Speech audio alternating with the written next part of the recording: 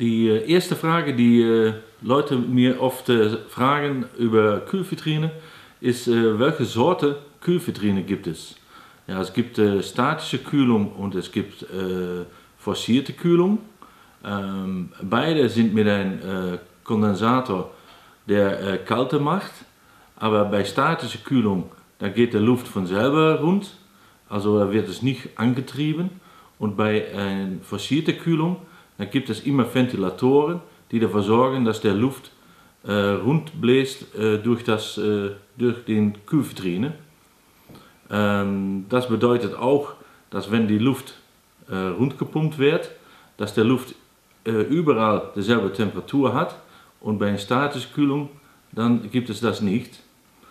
Neben die zwei Sorten Kühlungen gibt es noch äh, Remote-Kühlung. Also bedeutet, dass der Kühlvitrine ohne Motor ist und dass der Kühlaggregat dass der separat von der Kühlvitrine ist. Meistens wird das gemacht, um nicht so viel äh, Lärm zu haben.